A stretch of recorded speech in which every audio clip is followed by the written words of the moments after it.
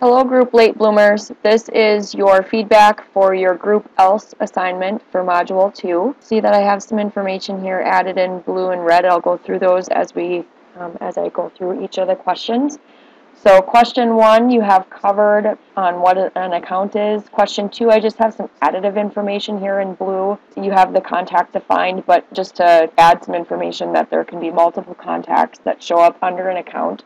So when you go into CRM typically your account is going to represent your company and then there could be you know thousands of contacts underneath that company. Status you have uh, defined there you know the status itself defines really what the state of the record is. The status values are going to be what what is the status. So active resolved canceled in process whatever it may be. You have question four on what a record is answered. Question five for question five, this, it could also mean that there's duplicate records or maybe the account has gone out of business. Those are just some additive examples of why you would want to deactivate a record. For question six, this one I would like you to just take a look at what assigning a record means again. This is in the reading that goes along with this group else project. Yes, assigning a record does involve some permission differences, but I would I'm actually looking for something in particular. So if you go back to the reading, you'll find out exactly what, what I'm looking for here. But I would like you to, to take a look at number six again. Sharing and assigning, definitely different. Sharing, you can share the record with people, but what does assigning it mean? Um, so take a look at that. Question seven, activities. Um, so defining those. You have it defined. It is a mechanism for tracking interactions between customers and an organization. But I want you to provide me with some examples. What what is an activity? What can an activity be? Again, this is in the reading. I think there's like nine different types of activities that you can list out here. Just list a couple of them. Um, so if you could take a look at questions six and seven.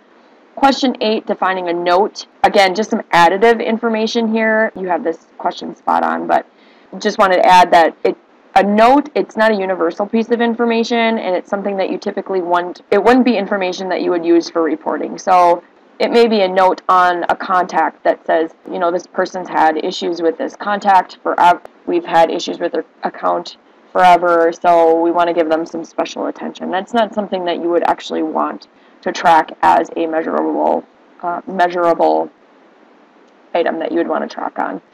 Um, for question nine, um, Again, some additive information here for Outlook. Another main reason that people want to use the CRM additive feature in Outlook is because they spend a ton of time in Outlook already. So why not make it efficient to just have the CRM hooked right in? And then questions 10, uh, great job there. Definitely using it offline and then being able to synchronize it once you get back onto the network. Question 11 here. Um, I would just like to see this expanded a little bit more. You know, the purpose for this question is really making sure that you're taking what you learned and applying it to real life. I'm going to give you points for this one because you do have it covered. It's the customer to be able to track or follow up on a good. It definitely covers on the record standpoint and the status. Um, but I would like to see maybe some more integration of sharing or signing accounts or how, how an enterprise or you in your daily life or companies would actually utilize these these features and functions. So if you could make sure that you expand these um, going forward, um, or if you would like to take a stab at number 11 as well, I'd greatly appreciate it um, because I am going to ask you to go back and do number 6 and 7. So I won't give you points until I hear back from you that you are going to do revisions on this one. Again, this is pass or fail. So if you can give me a heads up on when you are done um, revising these, or if you're not planning on revising these, let me know. Um, otherwise, I will wait to hear from you. So thank you, and um, let me know if you have any questions.